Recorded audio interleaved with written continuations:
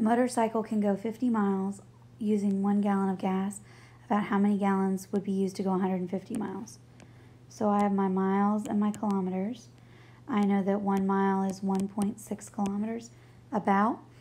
So if I want to figure out what 50 miles is, I'm going to multiply by 50. It means I'm going to multiply this side by 50. And I figure out that it's about 80 kilometers. Well, 50 miles is one gallon of gas. So this right here is one gallon. To get to 150, 80 plus 80, so that would be another gallon, right? So 80 plus 80 is 160. So that would be about two gallons is all I would need.